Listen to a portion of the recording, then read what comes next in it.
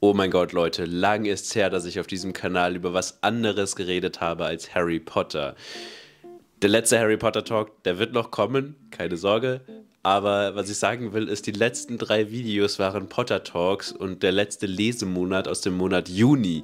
Da fehlten Juli, August, September, Oktober und jetzt bald wahrscheinlich auch noch November. Woran liegt das? Darüber rede ich in diesem Video und natürlich auch endlich mal wieder über Bücher. Ja, liebe Leute, herzlich willkommen zu diesem neuen Video. Mein Name ist Tim und ich lade hier auf diesem Kanal alles rund um Bücher und Geschichten hoch. Wenn dich das interessiert, dann klick doch gerne auf Abonnieren und vergiss nicht, die Glocke zu aktivieren. Okay, Leute, ich glaube, ich muss das einfach mal ganz klar auch sagen, der Grund, warum ich jetzt monatelang keine Lesemonate gemacht habe, ist der, ich war einfach gar nicht erst dafür motiviert. Wenn das Ende vom Monat kam und ich gedacht habe, jetzt wäre es mal wieder Zeit für einen Lesemonat, dann war ich so, uff, ja, hm, nee, gerade irgendwie nicht so. Und dann habe ich halt überlegt, okay, ich muss irgendwas ändern. Ich bin ein Typ, der schnell irgendwie was ändern will. Ich räume auch meine Wohnung hier so oft um, das glaubt ihr gar nicht. Ihr seht es ja auch in den Videos manchmal. Selbst mein Set, so für meine Videos, das räume ich irgendwie ständig um. Nicht, weil ich irgendwie dann da unzufrieden damit bin, wie es funktioniert, sondern einfach, weil ich sage, ich will es mal anders haben. Ich habe mir jetzt die Haare geschnitten Einfach nur, weil ich es mal anders haben wollte. Nicht, weil ich die langen Haare doof fand, so. Klar, die waren auch ein bisschen unpraktischer, geil, keine Frage, aber ich wollte es einfach mal anders haben. So, ne? so ein Typ bin ich. Und ich glaube, ich kann nie ein Konzept irgendwie dauerhaft fahren, weil ich irgendwann unweigerlich an den Punkt komme, wo ich sage, okay, ich will es wieder anders haben. Und ich glaube, dass jetzt möglicherweise der Punkt erreicht ist, wo die Lesemonate für mich ausgedient haben, wo es mir nicht reicht, einfach ähm, ja am Ende vom Monat einmal über alles zu reden, was ich so gelesen habe mit dem Monat sondern dass ich es anders machen will. Ich weiß noch nicht genau, wie es in Zukunft laufen wird, was mein weiteres, mein zukünftiges, mein zukünftiges Konzept sein wird. Ähm, aber es wird irgendwas kommen, weil ich habe nach wie vor einfach Lust, über Bücher zu reden und ich habe auch Lust, lange Videos zu machen, die für Instagram dann eben nicht mehr so gut geeignet sind, die ich dann einfach hier auf YouTube hochladen werde. Das wird es weiter geben. Jetzt habe ich zum Beispiel gerade dieses eine Video, was ich hier unbedingt machen will. Das sind drei Bücher, die ich nicht alle diesen Monat gelesen habe. Die haben eine andere Connection. Ja, das äh, wird, darum wird es dann gleich gehen. Aber ich will, dass ihr wisst, ähm, mein YouTube-Kanal ist nicht irgendwie auf Eis gelegt. Äh, die Potter Talk-Reihe wird noch fortgeführt und es wird auch, wenn die Potter Talk-Reihe vorbei ist, weiter über allgemeine Bücher gehen. Das möchte ich, dass ihr wisst. Und jetzt geht es endlich mal los mit dem eigentlichen Video.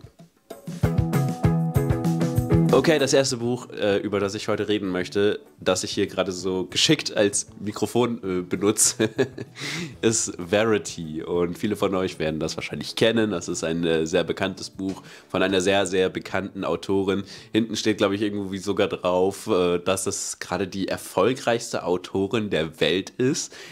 Das war mir nicht klar, dass Colleen Hoover so krass erfolgreich ist. Ich habe noch nie etwas von ihr gelesen. Ich glaube, bei vielen, bei mir bisher auch so ein bisschen war sie auch so als, ja, das, die schreibt halt Bücher für Frauen, ne? Und dann ist auch immer dieses Klischee mit dem vielen Spice und äh, viel Romance und so, wo, wo viele Männer dann, glaube ich, sagen, nee, das ist nichts für mich, wo ich was ich auch bisher so ein bisschen gesagt habe.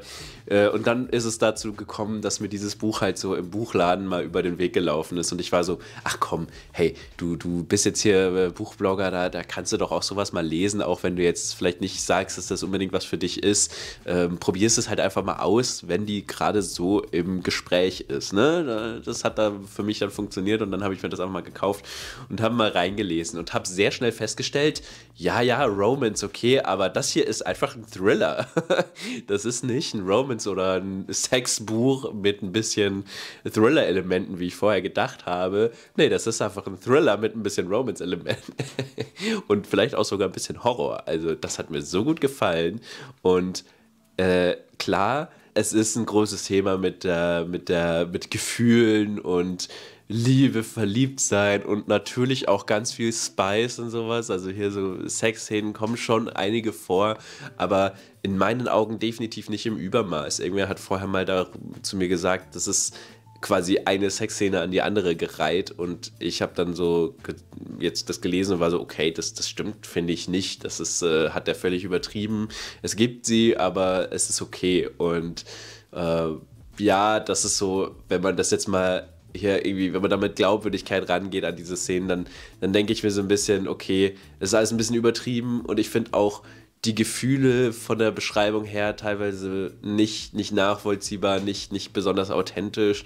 Ähm, ich kann da vieles eben nicht nachvollziehen, aber das, ja, Mai, ne? im Vordergrund war es für mich tatsächlich echt ein Thriller. Ähm, es geht hier um äh, Lowen Ashley, die ist eine relativ erfolglose Autorin, die jetzt plötzlich einen mega lukrativen Auftrag bekommt, nämlich für die äh, sehr erfolgreiche Autorin Verity Crawford, die sehr erfolgreiche Bestsellerreihe fertig zu schreiben, weil Verity eben einen Unfall hatte, der dazu führte, dass sie nicht mehr in der Lage ist, diese Reihe zu beenden. Und das soll jetzt eben Lowen für sie machen. Dafür wird sie engagiert vom Verlag und von dem Ehemann von Verity. Das ist so ein bisschen die Ausgangslage. Und um dann eben zu recherchieren über die vorherigen Bände der Reihe, zieht Lowen erstmal für einige Tage bei, äh, bei, bei dem Ehemann von Verity Jeremy ein. Äh, der lebt da jetzt immer noch in diesem Haus mit seinem Sohn Cro Crew. und Verity lebt auch noch in dem Haus, aber sie liegt den ganzen Tag im Bett. Sie ist quasi wie im Koma, nicht ansprechbar. Man weiß nicht, was noch in ihrem Kopf so vor sich geht. Und Leute, kommt mir gerne mit Horrorclowns und alles, ne? Aber was wirklich gruselig ist, sind Leute, die im Koma liegen. Vielleicht aber auch nicht. das war so fucking gruselig. Also da gab es einige Momente, die wirklich gruselig waren.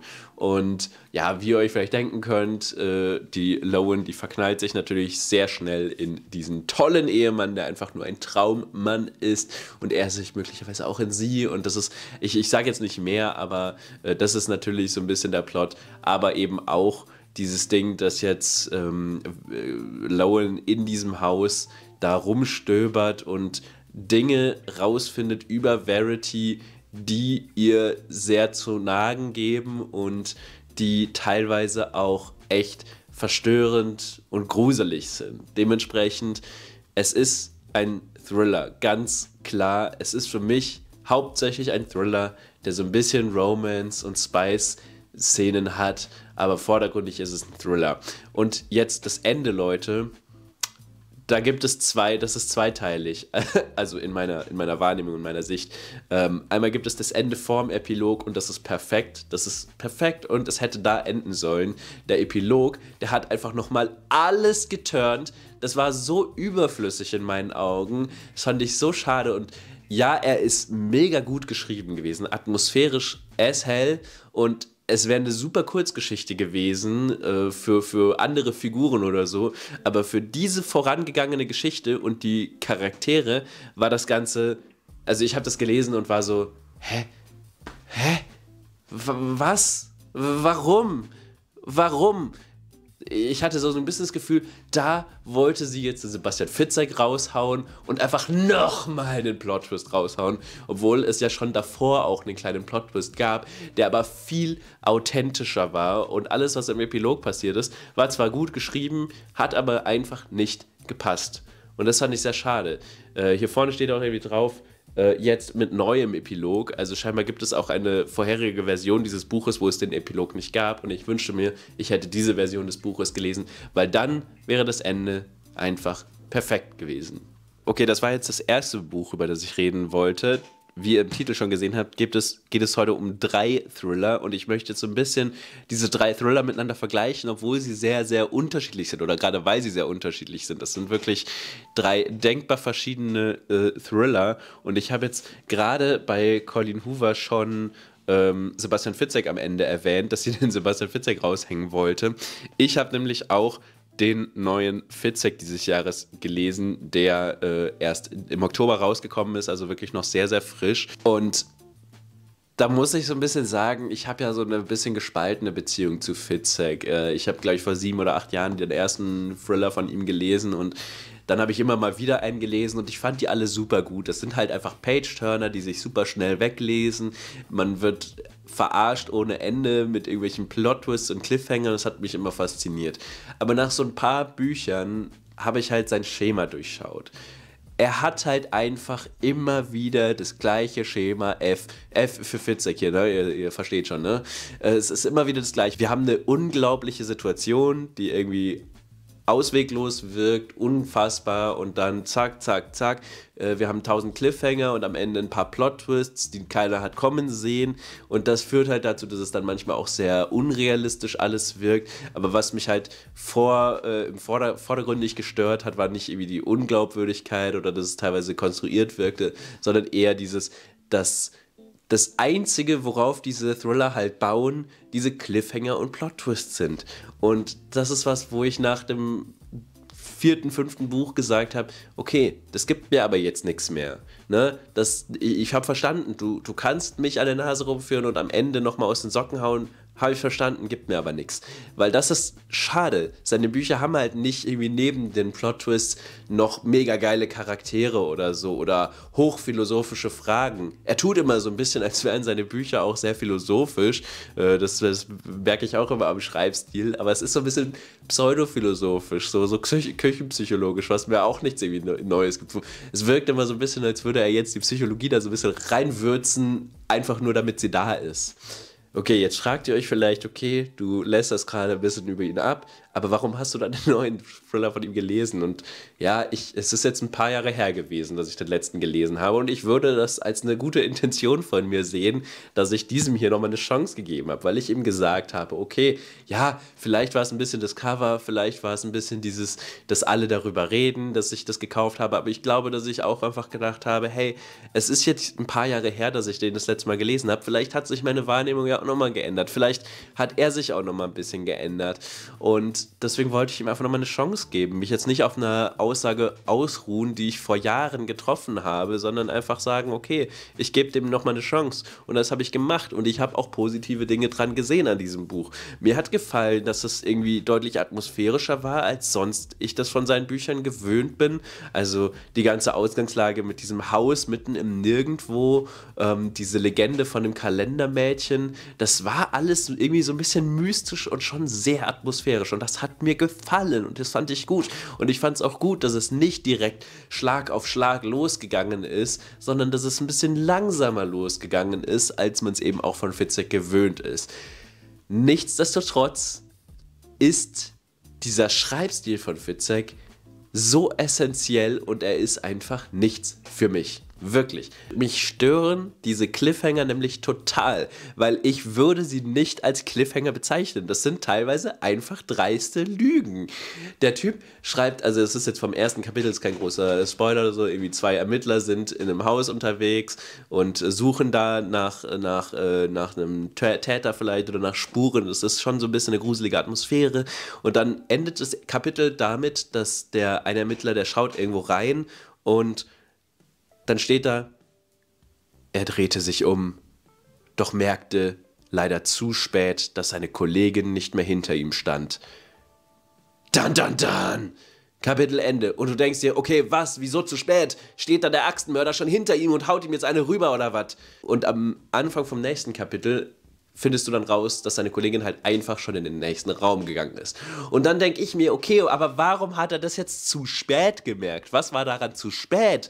Das ist einfach nur Verarsche gewesen. Aber ich weiß, dass es Leute gibt, die genau das auch dann irgendwie cool finden, wenn man so an der Nase rumgeführt wird. Ich denke mir immer nur, okay, finde ich scheiße, weil es ruiniert mir dann auch die echten Cliffhanger, weil ich mir immer, wenn ein Cliffhanger kommt, erstmal denke, okay, wahrscheinlich ist es gar nicht mehr so schlimm und dann löst das Ganze bei mir nichts mehr aus. Ja, äh, ist irgendwie dann kontraproduktiv, habe ich ein bisschen das Gefühl. Und es sind nicht nur die Cliffhanger, es ist generell dieser Schreibstil, der so ein bisschen was Pseudodramatisches immer hat. Es passiert auch mal mitten im Kapitel irgendwas, was gar nicht so krass ist, aber er schreibt erstmal eine halbe Seite lang Ihr Finger blieb über dem Display erstarren, ihr Herz wummerte, sie konnte nicht glauben, was sie da sah, sie wollte sich übergeben, der Himmel stürzte ihr auf den Kopf, wie war das nur möglich? Und ich denke mir, sag doch einfach, was da ist, bitte, das kann doch nicht so schwer sein. Man kann es auch einfach übertreiben mit Suspense. Das ist ja immer das, was gesagt wird. Fitzek ist der Meister des Suspense Und das mag ja sein, wenn dass das Leuten gefällt. Also offensichtlich gefällt es Leuten. Äh, Sebastian Fitzek ist der erfolgreichste deutsche Autor. Das ist ganz einfach so. Aber ich fühle mich einfach nur verarscht. Ich denke mir, das ist einfach wie eine Bildschlagzeile. Wirklich. Die Bild schreibt auch in die Schlagzeile so, äh, Mann ging die Straße lang, doch dann passierte das. Und dann liest du einen Artikel und er hat eine 50-Cent-Münze gefunden, gefühlt. Wo ich dann denke, willst du mich eigentlich verarschen? Der Typ, der könnte wirklich Schlagzeilen für die Bild schreiben, äh, ohne Witz. Und dann denke ich mir wieder, okay, aber vielleicht musst du deine Bücher auch so schreiben, damit du in einem Land, in dem die Bild eine so erfolgreiche Zeitung ist, der erfolgreichste Schriftsteller sein kannst. Es tut mir total leid, Leute, dass ich diese harten Worte dafür finden muss. Das ist meine Wahrnehmung. Wirklich, das muss ich nochmal dazu sagen. Ich will nicht mich jetzt hier aufspielen zu jemandem, der äh, voll die krasse Literaturkritik und bla und äh, Sebastian Fitzek ist ein schlechter Autor oder so. Er ist einer, von dem ich mir nie Schreibtipps abholen würde, aber ich weiß auch, dass es Leute gibt, die genau die Punkte, die ich hier kritisiere, gut finden und das mögen und das ist ja auch vollkommen fein. Also bitte, ich möchte nicht, dass sich hier irgendeiner auf den Schlips getreten fühlt. Keiner soll denken, dass ich mich hier für was Besseres halte oder so. Oder wirklich irgendwie behaupte, der Fitzek ist ein schlechter Autor. Äh, für mich in meinen Augen gibt es sowas wie einen schlechten Autor nicht. Solange er Leute begeistern kann, ist er irgendwo ein guter Autor. Ich kann, das habe ich jetzt einfach nochmal bestätigt gesehen, nicht wirklich damit was anfangen. Und wie gesagt, ich würde mir von ihm auch nicht Schreibtipps abholen. Aber solange andere fasziniert, ist alles fein. Aber das ist eben das, was ich interessant finde. Ähm, das sind zwei Thriller, die so unterschiedlich sind. Und zwar dieser Thriller hier, der weiß, dass er auf Cliffhanger verzichten kann. Der weiß, dass die Story gut genug ist, ohne Cliffhanger. Bei Fitzek habe ich immer ein bisschen das Gefühl, äh, entweder traut er es den Lesern und Leserinnen nicht zu, dass sie, die, dass sie an der Geschichte dranbleiben, ohne diese Cliffhanger, oder er traut es seiner Geschichte nicht zu, dass sie ohne diese Cliffhanger überzeugen kann. Eins von beiden muss es ja sein. Und dieses Buch hier zum Beispiel, das weiß einfach, dass es das nicht braucht. Der, das Buch hat auch die kleinen Schocker, das Buch hat auch Suspense, aber auf eine natürliche Weise. Auf eine Weise, die nicht sagt, ja, ja, ich weiß schon, dass das gar nicht so krass ist, was hier passiert, aber ich muss jetzt irgendwie so tun, als wäre es krass. Ne? Und das fand ich irgendwie charmanter, authentischer. Das Buch ist auch nicht perfekt, was, äh, was Konstruktion angeht. Das Buch hat auch seine Momente, wo ich sage, okay, das wirkt vielleicht ein bisschen konstruiert, aber wie ich vorhin, glaube ich, schon angedeutet habe, darüber kann ich viel besser hinwegsehen, als über einen Schreibstil, der mich für blöd verkaufen will, in meiner Wahrnehmung, muss ich nochmal dazu sagen. Ja? Ähnlich ist es dann auch bei Finster von Iva Leon Megger. Okay, Leute, wir haben hier jetzt einmal mein Highlight des Jahres 2024. Nicht, weil es mich durchweg fasziniert hat, sondern weil es eine so geniale Idee hat und weil es einmal zeigt und beweist, was das Medium Buch dem Medium Film voraus hat. Dieses Buch hier kann man nicht verfilmen. Ich möchte ich möchte das wirklich einmal sehen, wie das jemand versucht, diese Idee zu verfilmen. Es ist einfach nicht möglich. Und das fand ich so genial. Das hat mich so gefreut und fasziniert. In diesem Buch geht es um einen Ermittler, einen ehemaligen Ermittler außer Dienst, der eigentlich schon in Rente ist, aber sich jetzt nochmal zu einem ehemaligen Fall hin, äh, hingezogen fühlt, einen eigentlichen Cold Case, weil vor Jahren hat es in einem Dorf Katzenbrunn äh, einen Fall gegeben, bei dem viele Jungen verschwunden sind. Und man hatte Täter nie fassen können. Und jetzt kehrt eben Hans-Jörg Stahl, der damalige Ermittler, zurück, weil wieder ein Junge verschwunden ist und er möchte jetzt endlich mal diesen Fall lösen. Das Ganze spielt in den 80ern, kurz nach dem Atomunglück von Fukushima. Das ist ein gutes Setting. Das hat mir gefallen. Ich finde auch, dass Iva Leon Menger diese Zeit gut dargestellt hat, aus meiner Sicht. Also ich meine, ich habe die 80er nicht erlebt, so, aber von dem, was ich so äh, über die 80er denke, kann ich äh, sagen, äh, kommt mir authentisch vor. Vielleicht sagt jemand, der in den 80ern gelebt hat, nee, nee, ist aber überhaupt nicht authentisch, keine Ahnung, was auch immer. Äh, aber ich fand es ein gutes Setting. Ich mag auch dieses Kleinstadt-Feeling so ein bisschen. Das hatte auch ein bisschen was Stephen King-mäßiges, äh, dass man auch so die Charaktere alle gut kannte. Es hatte so ein bisschen was Theaterstück-mäßiges auch, weil du so der Reihe nach die verschiedenen Menschen in diesem Dorf kennengelernt hast. Es hat sehr viele POVs, wenn man das nicht mag, okay. Ähm, ich fand es ganz gut. Normalerweise bin ich auch jemand, der schnell überfordert ist von vielen Figuren, aber hier fand ich es noch in einem okayen Rahmen. Aber man lernt dann halt zum Beispiel den Besitzer vom Fotogeschäft in dem Dorf äh, kennen oder zum Beispiel die Gastwirtin vom Gasthof in dem Dorf. Mm, also das, das, das hatte irgendwie was. Das hat mich auch ein bisschen an so Agatha Christie erinnert. So dieses, dass du jetzt dann diese ganzen Figuren kennenlernst und bei jedem so ein bisschen überlegst, wer war es. Ich habe mir schon gedacht, so okay, Komisch, dass es keinen Gärtner gibt, weil sonst wäre es der wahrscheinlich. Aber das ist sowas, äh, was ich ganz, ganz cool fand. Es war sehr krimimäßig in der ersten Hälfte. Das Ganze wird ja wirklich als ein Thriller beworben, aber es man muss es einfach mal sagen, es ist auch einfach ein Krimi. Und damit hatte ich ein bisschen zu kämpfen weil ich mag keine Krimis. Ich bin kein Krimi-Fan, wirklich nicht. Ich mag an sich diese Ermittlungsarbeit nicht. Ich mag es nicht, wenn es dann hunderte Seiten einfach nur darum geht, dass irgendein Ermittler rum Fragen stellt und versucht, Hinweise zu finden und man dann die ganze Zeit überlegt, wer war es, wer war es, wer war es und am Ende war es halt einer von denen. Fasziniert mich jetzt nicht so wie andere Leute.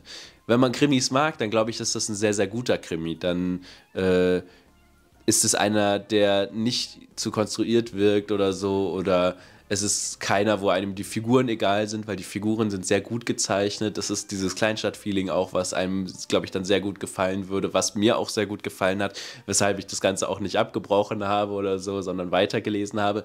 Und dann, Leute, irgendwann in der Mitte schlägt das Ganze halt volle Möhre in den Thriller um und ab dann konnte ich das Buch wirklich nicht mehr aus der Hand legen. Ich glaube, die letzten 200 Seiten habe ich am Stück ohne Pause gelesen und ich habe das Buch weggelegt und war einfach nur vollkommen geflasht und war so, Alter, krass, so eine geniale Idee, so eine mega geniale Idee, weil wie gesagt, das Ganze lässt sich nicht verfilmen, wirklich nicht und ich finde es immer so ein Paradebeispiel für jemanden, um dem zu sagen, schau mal, es gibt auch Bücher, die per se besser funktionieren als ein Film und nicht nur, weil die Geschichte dann irgendwie ausführlicher sein kann oder so, einfach weil das, was in dem Buch vorkommt, nicht möglich ist, in einem Film zu zeigen. Und ich sage euch natürlich jetzt nicht mehr dazu, ich will euch hier nicht spoilern.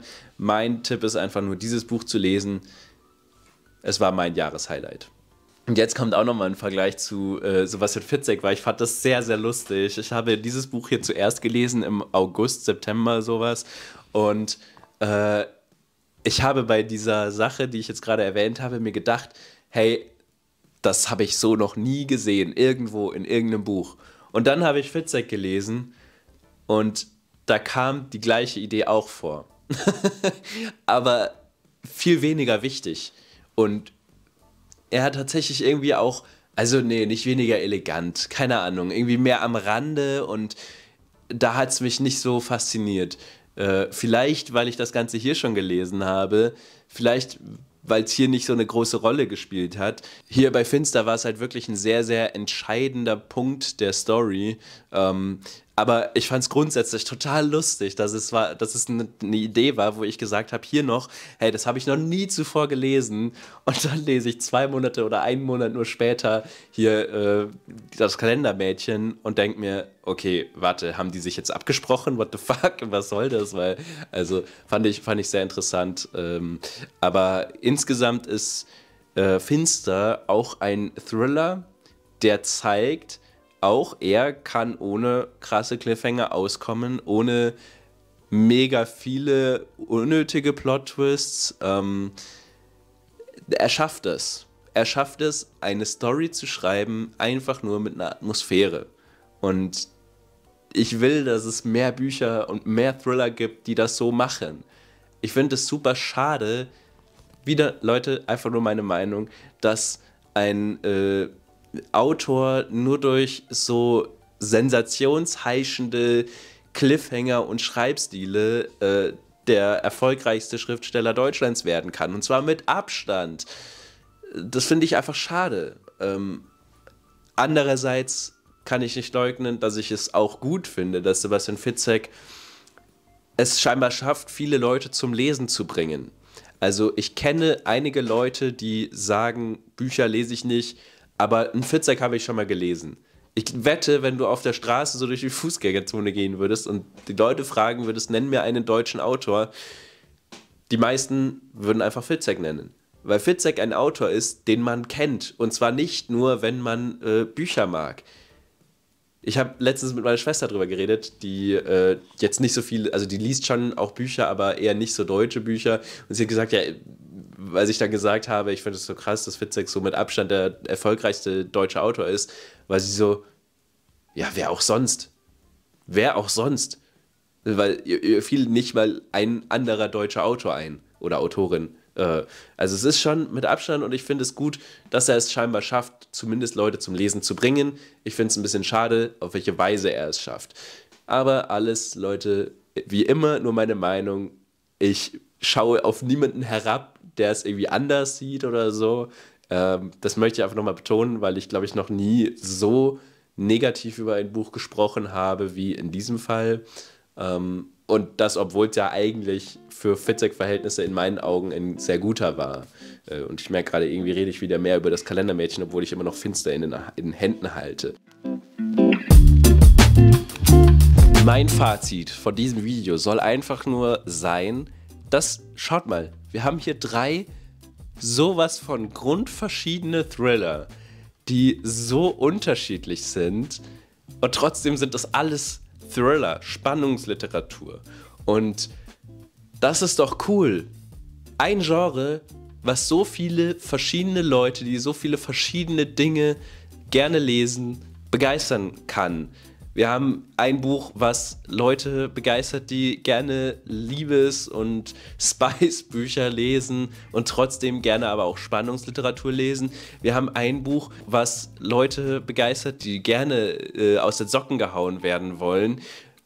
Und wir haben ein Buch für Leute, die gerne miträtseln, die gerne mitermitteln und die gerne langsam, gemütlich in eine Szenerie eingeführt werden und die trotzdem auch Spannung gerne mögen und die sich gerne davon überzeugen lassen wollen, dass vielleicht das Mediumbuch an manchen Stellen schon dem Mediumfilm auch was voraus hat. Drei verschiedene Thriller für drei verschiedene Zielgruppen, die aber irgendwie auch alle für eine Zielgruppe sind. Finde ich irgendwie total spannend. Was haltet ihr davon? Habt ihr eins dieser Bücher gelesen? Sind ja alles schon drei sehr bekannte Bücher, glaube ich. Zwei davon sind auch sehr neue Neuerscheinungen von diesem Jahr. Lasst es mich in den Kommentaren wissen, was ihr zu dem ganzen Thema sagt. Und ja, jetzt äh, bleibt mir nur noch zu sagen, die Verabschiedung. Alter, meine Stimme fängt schon an zu kratzen, weil ich so viel geredet habe. Es ist wirklich an der Zeit, dass ich aufhöre und vielleicht nochmal einen Tee trinke oder sowas. Ähm, ja, äh, demnächst wird auf jeden Fall noch der letzte Potter Talk erscheinen für die Leute, die sich darauf freuen. Und es werden auch weiterhin noch Videos über andere Bücher erscheinen. Bis dahin, wir sehen uns. Ciao.